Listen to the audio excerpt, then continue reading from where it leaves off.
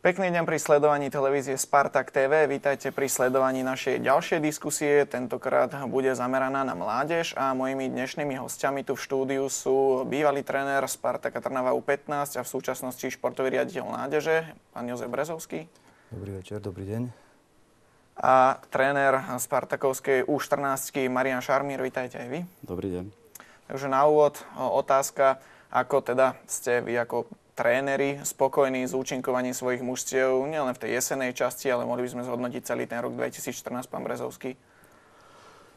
Prebral som družstvo v júli tohto roku e, s určitými nádejami, ale aj s obavami, nakoľko v príprave e, sme mali veľmi krátky čas na tú našu komplexnú prípravu. Ale keď porovnám, alebo teda budem hodnotiť výsledkovú časť a hernú, tak budem spokojný s obidvomi v tejto jesenej časti, pretože okrem dvoch alebo jedného zápasu, ktorý nám aj herne nevyšiel, v podstate chlapci plnili to, čo sme dokázali v príprave natrénovať a samozrejme aj tie naše pokyny, ktoré sme si povedali. Pán Šarmír, vy ako ste spokojní s už 14 pretože o tej sa v Trnave básni naozaj veľa? Tak e, keď mám hodnotiť kalendárny rok, tak začali sme v januári halovou sezónou mládeže. Cez prvé kolo sme postupili z prvého miesta, takisto cez druhé kolo Kvalifikovali sme sa tým pádom do finále halovej sezóny, ktoré bolo v Puchove 31. januára, kde boli mústva Eška Slova Bratislava, Ružomberok a Tatran Prešov a Spartak Trnava. Hralo sa dvojkolovo behom dva, dvoch dní. E, dá sa povedať, že nie že suverénnym spôsobom, ale už pred posledným e, záverečným e, zápasom sme boli jasní majstri Slovenska v halovej sezóne, čo ma veľmi potešilo aj keď eh, boli tam určité nedostatky, ale berem ohľad na to, že sú to ešte deti 13-ročné, takže tie nedostatky sa dajú, dajú prepáčiť. A čo sa týka samotnej súťaže, e, hrali sme stále ešte jarnú časť na šírku ihriska, dve mužstva, 7 na 7. Tam som bol celku spokojný, malo to aj, dá sa povedať, určitý dobrý vplyv na hráčov, lebo hrali všetci tým pádom v jednom zápase a boli spokojní aj hráči, aj rodičia a určitým spôsobom aj ja. V lete to už troška bolo náročné ešte vzhľadom na to, že sme prešli na veľké ihrisko, kde sme hrali 10 plus 1. Tam mohli striedať iba 5 hráči a tým pádom niektorí hráči boli doma, čo sa, čo sa aj e, cítili urazení, ale bohužiaľ futbalový život je taký, že hrať môžu len 10 a striedať 5 a ten, kto sa nezmestí do zápasovej nominácie, tak potom musí pridať niekde inde na tréningu. Ale keď mám hodnotiť e, samotný herný prejav, bol som celku spokojný až do až do, dá sa povedať, polovičky septembra, kde bol výber Západoslovenského futbalového zväzu, kde robím trénera spolu s Erikom Samešom, kolegom z Trenčína. Nominovali sme 9 hráčov zo Spartaka Trnava, kde si to samozrejme aj zaslúžili, ale malo to troška aj negatívny vplyv na to, že sa mi tam zranili dosť kľúčoví hráči mústva a potom to malo vplyv na celú, dá sa povedať, našu jesennú časť, kde môžem spomenúť, Šimon Kozak si tam natrhol svala, od septembra laboroval až dá sa povedať doteraz, takže ten kľúčový hráč v defenzíve nechýbal by len nášmu mústvu, ale aj ostatným ústavom, ale s celkovým herným prejavom a konec koncov aj s výsledkami som s chalanmi spokojný. Keby ste ešte mohli teda našim divákom ozrejmiť, na akej pozícii budú teda mužstva zimovať, pán Brezovský?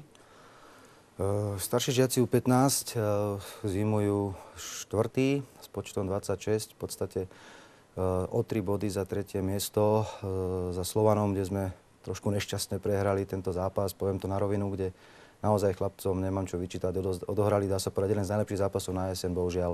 Šťastie sa priklonilo superovi, ale som rád, že v, celkovom, celkovej konfrontácii medzi Spartakom a Slovanom uh, už žiaden iný mladežnický tím uh, ani bod Slovanu nepustil, takže, takže štvrté miesto 26 bodov po jeseni čo sa týka už 14 my, zujeme, my zimujeme na prvom mieste, aj keď ste ma teraz troška zaskočil, počet, bolo, počet bodov neviem, ale to je fakticky jedno, ale tam sme veľmi ľahko stratili body v Nitre, kde bol ten hned zápas po tom výbere, čo sa to odzrkadlilo, tam chlapci boli uťahaní, zranenia a tak ďalej, ale nevyhováram sa.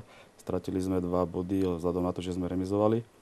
Plus e, sme, dá sa povedať, prvýkrát po 3,5 ročnom mojom pôsobení pri mústve vybuchli so zápasom so Slovanom, kde sme doma prehrali 0-1, čo som bol dosť nemilo prekvapený, ale tak ako som povedal v úvode, sú to deti stále 13 ročné a oni istým spôsobom ešte sú takí hraví a nemôžu celý rok ťahať v jednom kuse, že vyhrávať a, a stále jazda a herný prejav výborný, proste musí prísť aj za kolísanie a prišlo práve v derby so Slovanom, čo som bol nerad. Takisto chalanie po zápase plakali, boli smutní, ale taký je život futbalový. Kategóriu 15 a už 14 sa už berú ako starší žiaci. V prípravkách o tých mladších žiakov sa možno ešte tak nekladú, neklade dôraz na výsledky, ale tuto u tých žiakov už cítia tí chlapci taký tlak v tých zápasoch, a keď, keď ide o to umiestnenie a tak. Máte pravdu, ten, ten dôraz na výsledky by mal byť správne rozložený na skôr by som povedal spôsob, ako ten výsledok dosiahnuť. Tak e, aj v Spartaku Trnava, ja čo to pocitujem, čo už vlastne mm, 5. rok pôsobím v Spartaku, máme nadstavené nejaké veci tak, aby uh, hlavne v tých prípravkách skôr sa venoval uh, rozvoj individuality a individuálnym schopnostiam hráča a následne v tej kategórii starších žiakov 14 a 15 roční vedeli to využiť aspoň v nejakých spolupráci dvoch, troch, štyroch hráčov. Ale aj ten výsledok je prejav nejakej práce alebo prejav nejakého herného štýlu, tak stále, stále do tých 15 rokov je ten výsledok len druhoradý, ale zaujíma nás hlavne aj na tých metodických našich poradách spôsob, ako sa k tomuto výsledku dopracuje. Myslím si, že, že tieto eh, jesenné, jesenné výsledky, alebo naše účinkovanie je dôkazom toho, že naozaj eh, zápasy, ktoré sme vyhrali, boli jasné, dominujúce a z našeho pohľadu zaslúžené. Tak eh, preto aj túto s Marianom, s kolegom riešime tú otázku klíše výsledkov za každú cenu alebo e, po dobrom hernom výkone. Takže Spartak Trnava zatiaľ uprednostňuje zrejme ten dobrý herný výkon, pán Šarmiel? Myslím si, že nielen Spartak Trnava, tak e, by to malo byť v, každej, v každom klube, v každej mládeži. Lebo ja môžem povedať za moje ústvo, tá 14 síce my sme sa sami dostali pod tlak už u úvodu, keď som ich preberal od U11, stále všetko vyhrávali, každý jeden turnaj, ocenenia a tak ďalej majú ich neurekom a ten tlak vznikol na nich, dá, dá sa povedať, tak prirodzené.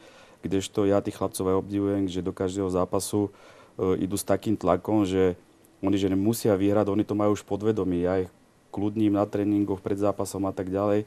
Žiadny stres, o nič nejde, nejde o majstra sveta, proste idú si zahrať, idú zahrať za Spartak Trnava a tak by k tomu mali aj pristúpiť. No len bohužiaľ, už keď niekomu povieme, že sme my prehrali, dá sa povedať po dvoch alebo po troch rokoch, tak každý už sa pozerá troška inak, jak keď prehrá nejaké iné mústvo. Čo som veľmi aj nerad, lebo už tretíkrát sa zopakujem, sú to stále deti.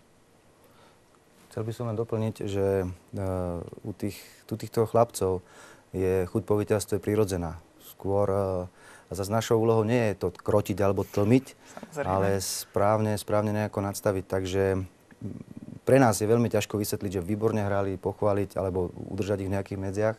Samozrejme, tie slzičky po prehratom zápase, aj keď odmakanom a z ich strany bojovnom budú.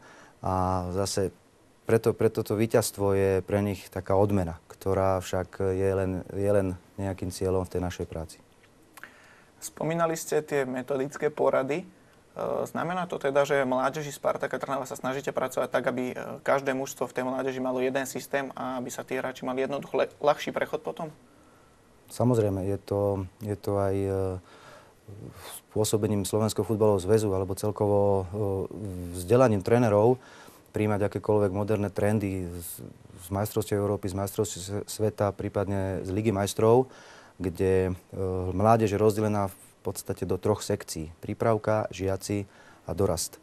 Kompetentní tréneri, ktorí sú na funkciách U11, U15 a U19, majú na starosti v podstate obsah športového alebo tréningového procesu v týchto tímoch a sú aj nadstavené nejaké mantinely, v ktorých tréner sa má pohybovať tak, aby sme v podstate do 19 keď to bereme v našom mládežnickom ponímaní a pri najlepšom až do Ačka postavili hráča, ktorý prejde nejakým jednotným koncepčným systémom. E, iné cesty nie, lebo keby sme brali mm, spôsob výchovy hráča e, v jednej kategórii sa trénuje tak a v druhej ináč, proste nejaká koncepcia tam nie je. S týmto budú musieť súhlasiť e, všetci tréneri, ktorí prídu k nám a v tomto zmysle aj pôsobiť na týchto hráčov. Takže je to pravda. rozhodli sme o jednom hernom systéme a do toho herného systému chceme vychovať hráčov, ktorí ľahko budú použiteľní či v 15 následne v 16 a v 17 tak, aby čo najmenej sa e, boli nejaké rozdiely v tej jeho výchove. Pán Šarmír, vy pracujete ako asistent trénera pri 16 takže e, funguje už v Trnave to aj tak, že tí najlepší talentovaní chlapci z 15 chodevajú hrávať aj za tie staršie kategórie, alebo sa snažíte skôr držať tých chlapcov pokope? Ono je to všetko závislé od toho, či, od e, Ačka. Keď Ačko si zoberie príkaz juniorky hráča, má to taký, dá sa povedať spáť, že potom juniorka z 19, z 19, 17 a tak ďalej. Ja som není moc toho zastancom, i keď tí veľmi talentovaní hráči, ktorí vyčnevajú danej kategórie, by mali byť posunutí vyššie, ale nie za každú cenu proste. Oni by mali uh, sa vyhrať vlastne vo svojej kategórii jednej činnosti jednotlivca, proste aby, proste aby vynikali. Čo sa týka teda teraz zimy, máte za sebou tú jesennú časť, o tej sme sa bavili, znova začína halová sezóna, vy teda ako tréner už 14 už máte za sebou štart e, zimnej časti? E, halovú sezónu hraje 13, 15, 14 nie. Takže my máme teraz momentálne prechodné obdobie, prípravné zápasy, tréningy, dá sa povedať, že až do 17.12., kde to takým rozlučkovým zápasom e, hokejovým, netradičným uzavrieme a chlapci budú oddychovať len určitý čas a potom budú mať domáce úlohy v januári, aby neprišli do začiatku prípravného obdobia v januári nepripravení. Kedy teda presne začína prípravné obdobie Spartaka už 14? Keď sa nemýlim, tak by sme mali začínať 8.1.2015. Myslím si, že všetky kategórie Spartaku mládežnické a každý podľa vlastného rozvrhu plánu, čo má, kde naplánované, kde bude trénovať, bude to lokomotíva alebo e, ihrisko na Korla Mahra, teraz novo vybudované a tak ďalej. Pán Brezovský, bavili sme sa teda o tej U15, o výsledkoch, ale teda po jesenej časti vy už nie ste trénerom tejto kategórie a budete športovým riaditeľom mládeže Spartaka Trnava. Aký bol teda prechod do tejto funkcie po zosnulom pánovi Dianovi? No, prechod. Ešte doplním to, že v podstate 15 uh, eh, aj na základe vypísania halovej sezóny mládeže pre U13 a U15 odohrala prvé kolo 20. novembra v Trnave. Úspešne kvalifikovala sa do druhého kola, ktoré bude 20. decembra v športovej hale v Púchove, kde sa stretne s Trenčínom, s Levicami a Zlatými Moravcami o jedno postupové miesto do finále, takže boli by sme radi e, nadviazali na e, kolegové úspechy, hlavne postupe, ale nie je to ťažiskové. Keď e, prejdem k tomu, že v podstate po tej nešťastnej udalosti, ktorá sa stala, všetkých nás zasiahla. Bolo potrebné pokračovať v práci, lebo sú niektoré povinnosti aj termíny, ktoré sa musia plniť. Uh, ten prechod Mám nejaké skúsenosti s touto prácou, nakoľko robím aj predsedu Trenérsko-metodickej komisie v rámci oblastného futbolového zväzu. A ešte pred nástupom do Spartaka som pôsobil v manažerských funkciách v rámci druhej ligy v Jaslovských Bolniciach ale ten prechod je momentálne uľahčený tým, že sme v prechodnom období, kde uh, v podstate tá súťaž, alebo to súťažné obdobie nás nenutí pracovať uh, tak extenzívne alebo intenzívne, ako, ako nám v prechodnom dovoluje. No. Ja čo môžem povedať, je to, chcem sklbiť aj administratívnu prácu koordinátora, samozrejme aj s určitou kontrolnou a metodickou prácou, nakoľko e, spolu e, s trénermi budeme zodpovední za tréningový proces, ktorý, ako som povedal, mal by ísť v určitom e, koncepčnom alebo filozofickom smere, tak ako sme nadstavili. Takže ja sebe si držím palce a snažím sa v podstate držať sa toho hesla, že ak zmení človek niečo na sebe alebo okolo seba, zmení všetko, tak verím tomu, že nájdeme nejakú spoločnú, spoločnú reč a cítim to, že na 99% títo tréneri, ktorí budú túto, túto mládež na budúcu alebo jar e, viesť, vedia prečo a majú talentované mústva, ktoré by dokázali obhájiť aspoň toto jesenné postavenie. Keďže vy ste teda ako tréneru 15 skončili, tak nastanú určité posuny medzi trénermi. Mohli by ste na to teda ozrejmiť, kto zaplní miesto v 15 a následne aj v ďalších pozíciách? Riešili sme to e, v podstate z vlastných radov, kde sme trénera ktorý pôsobil pri U13.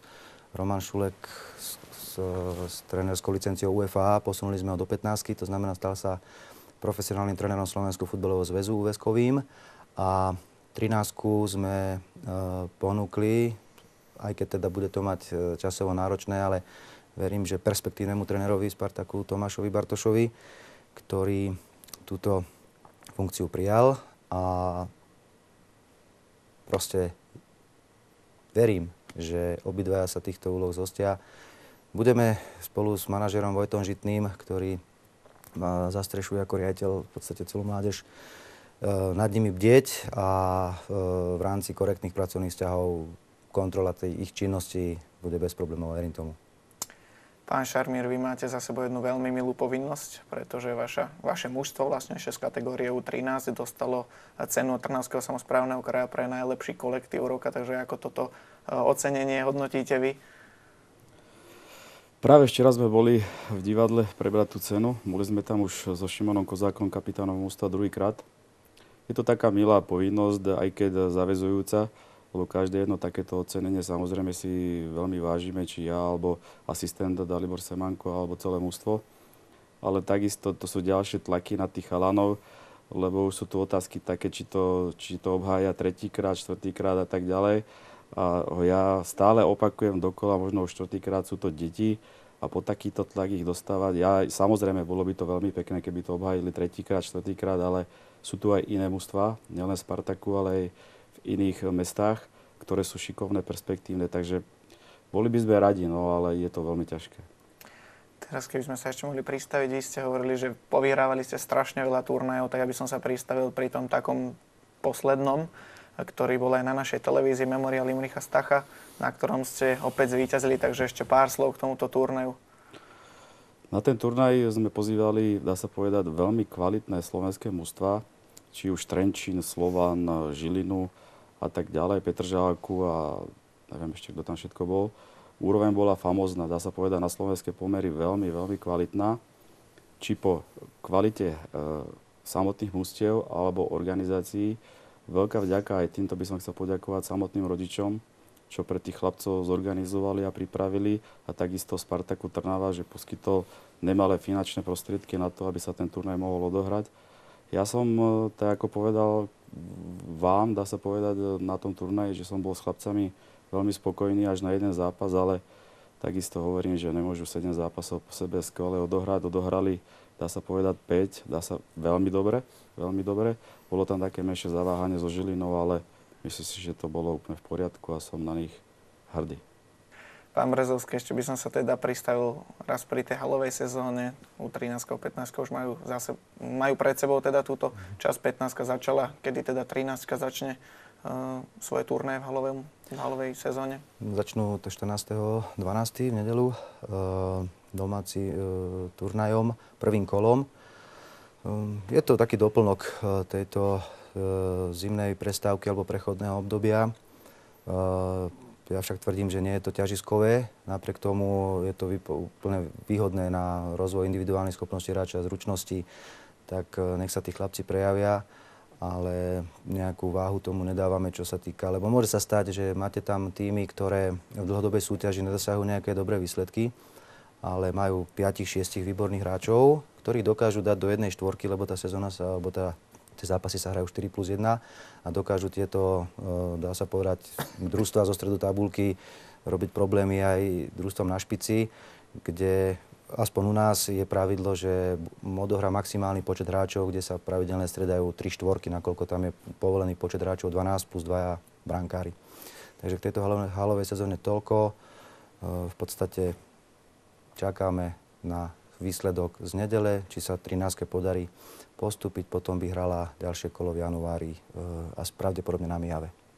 Takže nebude sa klásť dôraz na výsledky, hlavne aby si chlapci tú halovú sezónu užili a zlepšili tie technické schopnosti. Nejde tam o to znova obájiť víťazstvo po pánovi Šarmírovi napríklad s tou 15 teda U13, pardon. E, medzi nami, ale ten tréner musí mať, dá sa povedať, na, na seba nejaký tlak, ale určite to nebude s tým, aby e, tvrdo vyhrával nejaké zápasy bez, e, bez ohľadu na spôsob hry.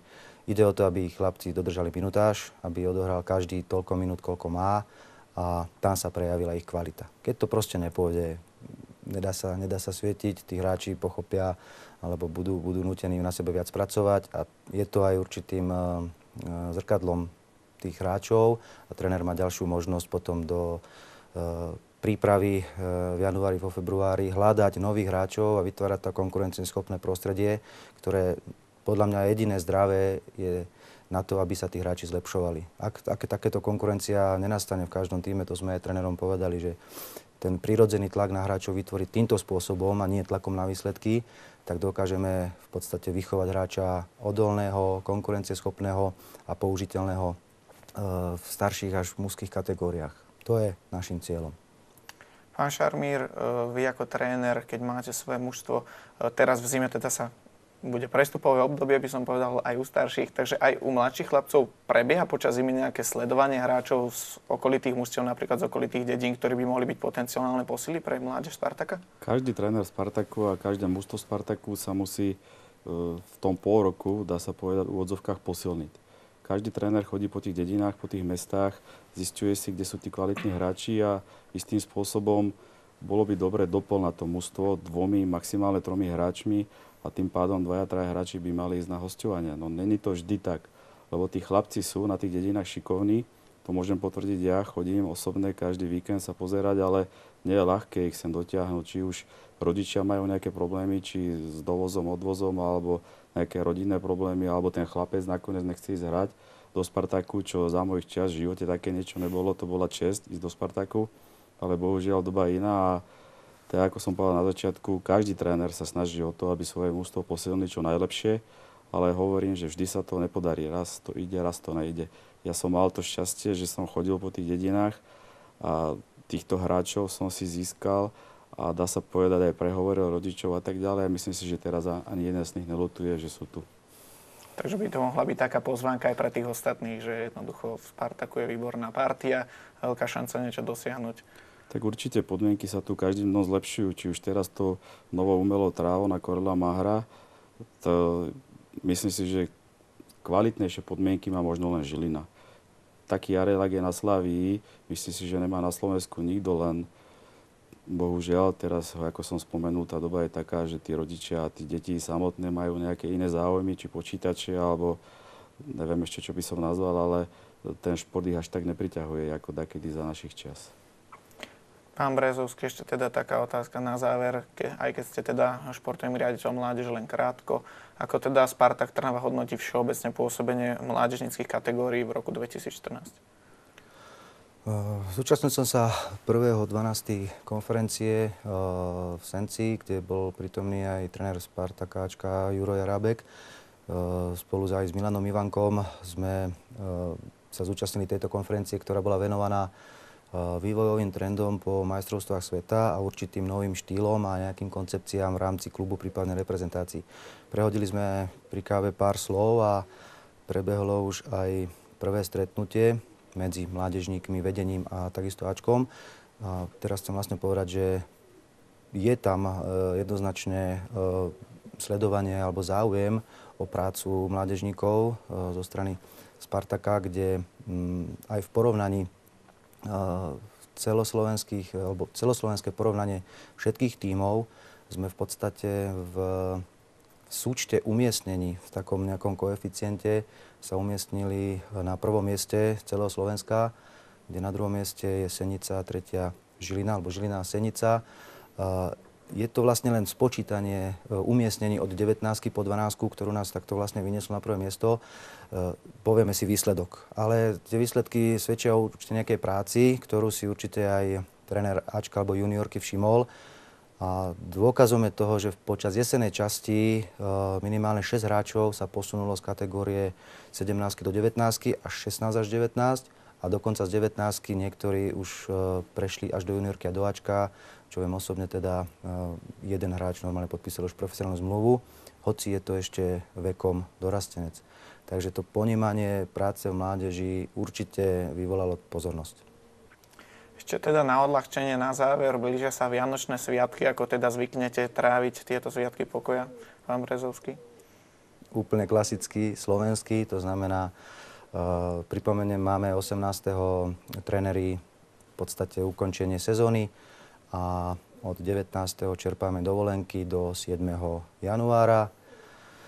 Ja osobne budem trvať na tom, aby tréneri využili tieto sviatky na samoštúdium, sledovanie zápasov, určitá nejaká relaxácia, ale ja osobne budem tráviť sviatky v kruhu rodiny, Vianoce, klasika s kaprom, Silvester, možno, možno dlhšie do rána, ale teda pokiaľ bude možnosť, veľmi rád pôjdeme na hory, ale typicky doma, vianočné. Pán Šarmír. Myslím si, že sa to moc nelíši od tu na kolegu. Takisto doma v kruhu rodiny a konečne si užijem tú moju rodinu, i keď nezávidím tej mojej manželke, som viac preč ako doma. Myslím viac na futbal ako na ňu, takže týmto by som chcel pozdraviť a nech to so mnou ešte čo najdlhšie vydrží. Ja ďakujem, že ste teda prijali pozvanie k nám do štúdia do dnešnej diskusie. Mojimi dnešnými hostiami boli bývalý tréner Spartaka Trnava U15 a v súčasnosti športový riaditeľ mládeže pán Jozef Brezovský. Ďakujem, dovidenia. A tréner Spartakovskej U14 a zároveň tréner a asistent trénera kategórie U16 Marian Šarmír. Ďakujem, dovidenia. No a ja sa s vami teda tiež lúčim. Ďakujem, že ste sledovali našu diskusiu a sledujte aj naše ďalšie programy. Dovidenia.